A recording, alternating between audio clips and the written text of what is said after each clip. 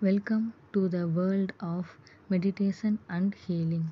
Trust in the power of your body and mind to heal and restore balance. Remember to be kind and gentle with yourself during this practice. Let's begin the journey of finding inner peace through meditation.